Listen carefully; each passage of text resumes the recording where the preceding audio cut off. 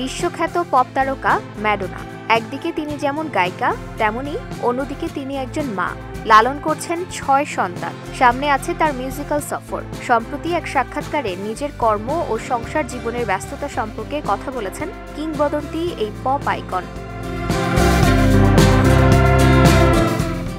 সাক্ষাৎকারে এই পপ গায়িকা জানান, তার পেশা এবং একই সময়ে ছয় সন্তান ধারণ ও পালনের মধ্যে ভারসাম্য বজায় রাখা চ্যালেঞ্জিং ছিল।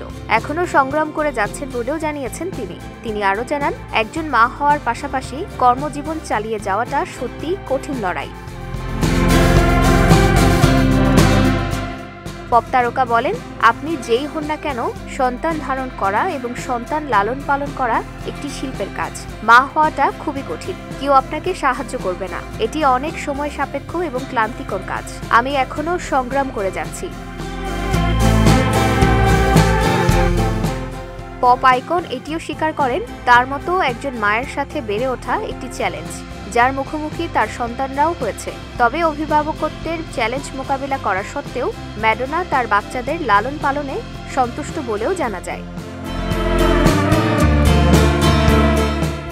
এদিকে সম্প্রতি নিজের আসন্ন মিউজিক্যাল সফর ম্যাডোনা দ্য সেলিব্রেশন ট্যুর ঘোষণা করেছেন এই পপ তারকা। দু হাজার তেইশ সালের জুলাই থেকে ব্রিটিশ কলম্বিয়ার ভ্যাঙ্কুভার থেকে শুরু হওয়া ম্যাডোনা দ্য সেলিব্রেশন ট্যুরটি শিকাগো, নিউ ইয়র্ক, মিয়ামি সহ অন্যান্য শহর হয়ে লাস ভেগাসে শেষ হবে। এরপর ইউরোপীয় এগারোটি কনসার্ট রয়েছে এই গায়িকার।